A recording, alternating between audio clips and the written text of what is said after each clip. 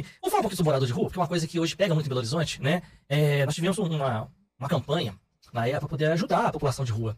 E isso foi feito. Eu, eu cheguei até a movimentar um grupo aqui na, na área dos funcionários, que, na área central, onde que se aglomera muitos moradores de rua. Sim. E eles reclamam demais, inclusive, do, do, dos locais, dos abrigos, né? Que tem pulga, perceber, que negócio todo, e querem ficar na rua. Mas na rua não é ideal para eles também. Né? Nós temos leis de proteção no parque, você pode estar, mas não pode permanecer, né? Que é no caso de dormir nas praças, né? E, e, como nós podemos hoje, na visão política, o Claudinei, você como vereador principalmente, né? Como nós podemos intervir para ajudar essa população de rua? Nem sei vou... se o termo certo hoje, que eles trocam, trocam os tempos toda hora, né? É, o termo utilizado hoje, majoritariamente, é o morador em situação de, em situação rua. de rua. Porque nós temos, segundo o censo, hum. nós temos muitos moradores é, em situação de rua que têm residências, é, que têm família, né? Então tem um destino, tem um lugar para voltar e, e, tem um lar, né? É, então eles estariam, a maioria, em situação de rua. É, não é um tema que eu domino, vou falar com, sobre esse tema com, com você é, como cidadão preocupado com a matemática, mas não é um tema que eu domino muito. Mas o que eu posso te assegurar é que, em 2017, eu viajei, eu sou presidente municipal do Avante aqui em Belo Horizonte, uhum. sou da executiva estadual e sou da executiva nacional do partido. Sim. O Avante é o único partido político com sede nacional em Belo Horizonte. E eu me orgulho muito disso, né? Sobre uhum. a presidência e a liderança do nosso deputado federal Luiz Tibé, que é um grande parceiro, um grande amigo. E em 2017, é, eu, via, eu percorri, viajei praticamente todas as capitais do Brasil, é, organizando partido no Brasil para a gente ultrapassar aquela cláusula de desempenho que foi colocada na reforma política de 2017. Bom, o trabalho foi exitoso e nós ultrapassamos, e hoje a gente está entre os 15 maiores partidos do Brasil. É, mas o que eu queria te dizer sobre isso é o seguinte: com essas viagens eu percorri todas as capitais. A questão do morador em situação de rua, ela é, na verdade, uma situação de todo o Brasil e de boa parte do mundo. É um problema. Eu lembro do prefeito Calil falava assim: é, gente, eu não tenho é, solução para a questão do morador em situação de rua. Quem tiver pode trazer para mim aqui que eu adoto a situação para resolver.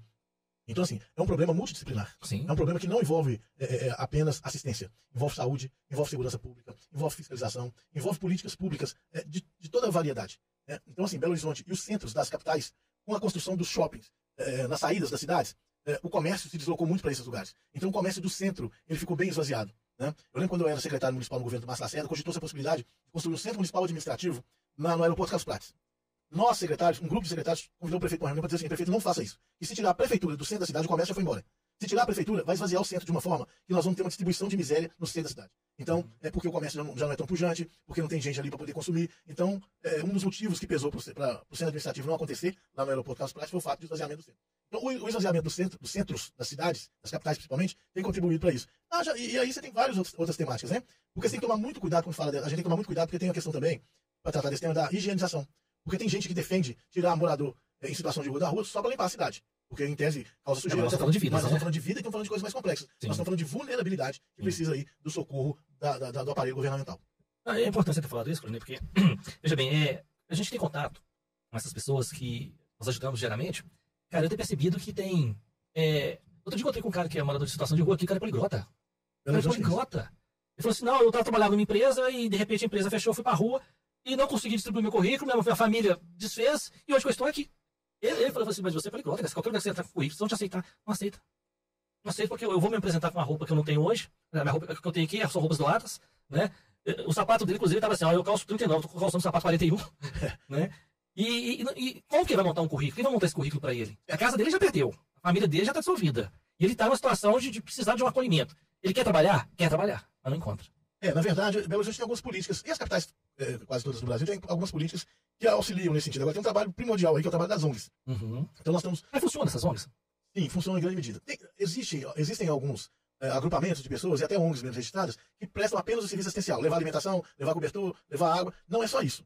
Ah, dentro da cidade existem políticas é, que são executadas através da Secretaria Municipal de Assistência, em conjunto com essas organizações não governamentais, que, por exemplo, é, promovem um currículo da pessoa. Nós temos instituições religiosas que acolhem essas pessoas para o banho, para Sim. a orientação espiritual. Então, assim, a gente tem algumas ações do, governamentais e da, e da sociedade civil organizada no sentido de socorrer. É lógico que é insuficiente. É lógico que é insuficiente. Mas existem. Agora, é, é um, um, tema muito específico e muito caro e que está tá chamando a atenção do mundo para essa preocupação. Não pode continuar como está.